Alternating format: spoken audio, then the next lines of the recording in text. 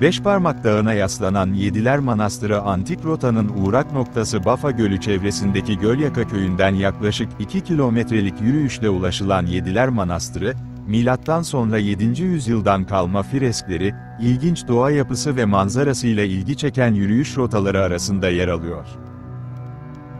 Yürüyüş rotaları seçkisine dahil ettiği Karya yolu üzerindeki Yediler Manastırı etabı, freskleri, manastır kalıntıları, ilginç görünümlü kayaları ve manzarasıyla ziyaretçilerine eşsiz bir deneyim sunuyor. Karya yolunun kuzey kesiminde Aydın ve Muğla illeri sınırındaki Beşparmak Dağı, Latmos, etabında yer alıyor, Yediler Manastırı'na, Bafa Gölü çevresindeki Gölyaka ve Karahayit köylerinden sadece yürüyerek gidilebiliyor. Ziyaretçiler, daha yakın olan Gölyaka köyünden geçen yaklaşık 2 kilometrelik rotayı takip ederek manastır kalıntılarına ulaşmayı tercih ediyor. İlk çağlardan bu yana kullanılması nedeniyle aşınmış kayaların üzerinde oluşan patikalardan, asırlık zeytin ağaçlarının arasında ilerleyen rotaya, bölge sakinlerinin, Ecinli Kayaları, adını verdiği ilginç görünümlü kayalarla oluşmuş vadiler eşlik ediyor. Manastıra ulaşım için antik yolda kavşak noktalarına kırmızı beyaz boyayla yapılan işaretlemelerin yer yer tahrip olduğu göze çarpıyor, özellikle rotanın başlangıcındaki işaretin bulunduğu taş yığınının yıkılması nedeniyle çok sayıda ziyaretçi kendisini farklı bir tepede bulabiliyor. Bafa Gölü manzarasına hakim bir vadide kayaların üzerine kurulmuş manastır kalıntıları ziyaretçileri karşılıyor, taş duvarlı burçları, kemerleri ve inziva odalarıyla dikkati çeken manastırın en ilgi gören yeri ise mantar biçimindeki kayanın altında yer alan freskler. Hristiyanlığın yayılması aşamasında milattan sonra 7. yüzyılda kurulduğu belirlenen manastırdaki bu fresklerde, tahrip edilmiş olmasına rağmen canlı renklerle Hazreti İsa'nın yaşamına ilişkin sahneler yer alıyor.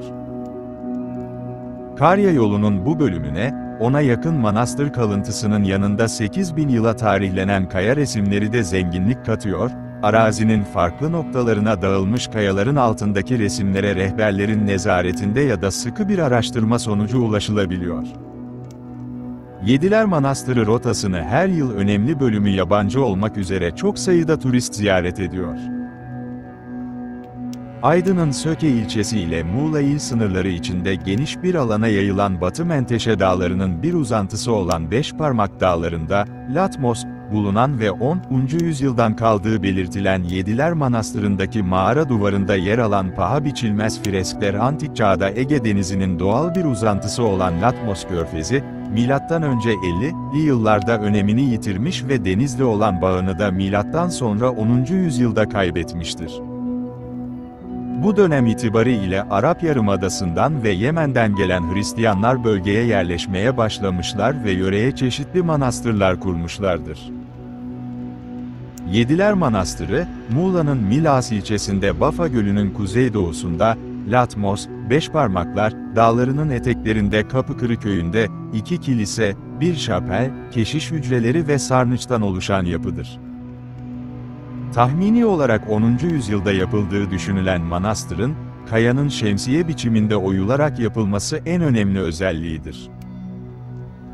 Ayrıca bölgede, Hazreti İsa'ya adanmış, kayalara oyulmuş Pandokrator olarak isimlendirilen bir kilise ile Bafa Gölü'nün kuzeydoğusunda Stilios Manastırı ve manastırın kuzey tarafında ise Arap avlusu olarak da bilinen Pavlus Kaya Kilisesi yer almaktadır.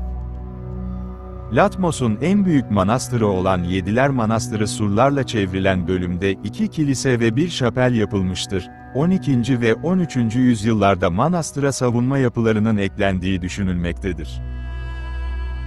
Manastırda Hazreti İsa'nın yaşam dönemine ait sahnelerin, bağımsız birer ikona biçiminde sunulmasına imkan veren ikonik çevrim uygulanmıştır, duvar yüzeyinde tonozdan zemine kadar altlı üstlü iki resim kuşağı, her kuşakta ise doğu-batı doğrultusunda üçer siklüs yer almaktadır.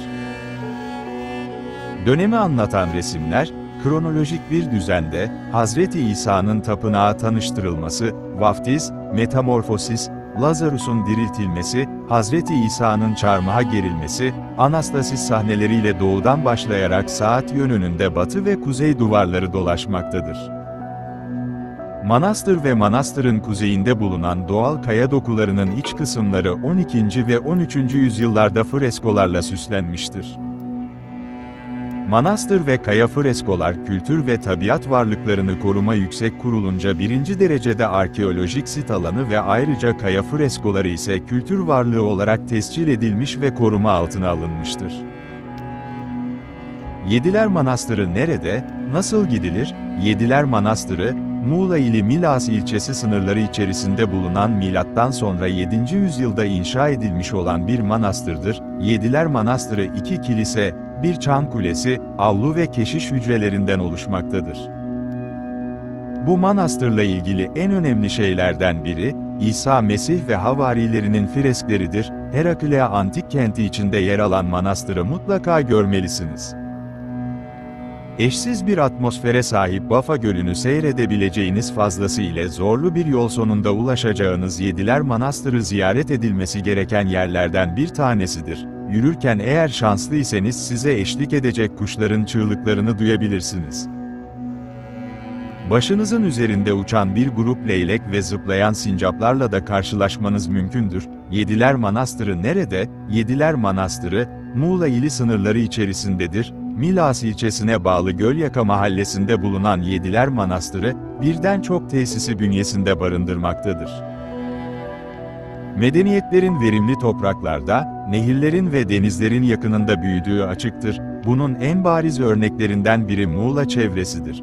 Bunlar arasında Heraklea Yediler Manastırı en ilginçlerinden biridir. Anadolu coğrafyası medeniyetlerin kavşak noktasıdır. Antik çağlardan beri yerleşim yeri olan ve birçok medeniyete beşiklik etmiş bu bölgede, eski çağlardan günümüze çeşitli imparatorlukların bıraktığı izler bulunmaktadır. Yediler Manastırı, Beşparmak Dağları'ndaki en önemli manastırlardan biridir. Gölyaka adlı bir köyden patika yoldan ulaşılır. Onu çevreleyen alan, içi taşlarla dolu irili ufaklı iki avludan oluşuyor. Yediler Manastırı nasıl gidilir? Muğla ilimizin Milas ilçesindeki Yediler Manastırı'na ulaşım çok kolaydır. Bafa beldesine bağlı Beşparmak Dağları'nın güney yönündeki Gölyaka köyü içerisindeki manastır her mevsimde ziyaretçilerini ağırlamaktadır. Buraya ulaşım özel araç veya toplu taşıma ile yapılabilmektedir. Yediler Manastırı arabayla veya mevcut servis otobüslerine binerek de ulaşabilirsiniz. Çevredeki üç köyden gelen tabelaları takip ederek tarihi Yediler Manastır'ın bazı kalıntılarının bulunduğu eşsiz tepeye ulaşabilirsiniz. Bölgedeki üç köyden tabelaları takip ederek ve yaklaşık 3 kilometre yürüyerek eski ve tarihi Yediler Manastırı'nın kalıntısının bulunduğu tepeye ulaşabilirsiniz. Yürümeye başladıktan sonra, zeytinlikler arasında gizlenmiş, dört bir yanı kayalarla çevrili, ulaşılmaz sandığınız bir manastıra varma düşüncesi aklınızı heyecanla dolduruyor. Yolculuğunuzu daha kolay ve daha doğal hale getirmek için Gölyaka köyünden gelen işaretleri takip etmenizi tavsiye ediyoruz. Çünkü bu rota daha kolay ve daha iyi bir manzaraya sahiptir.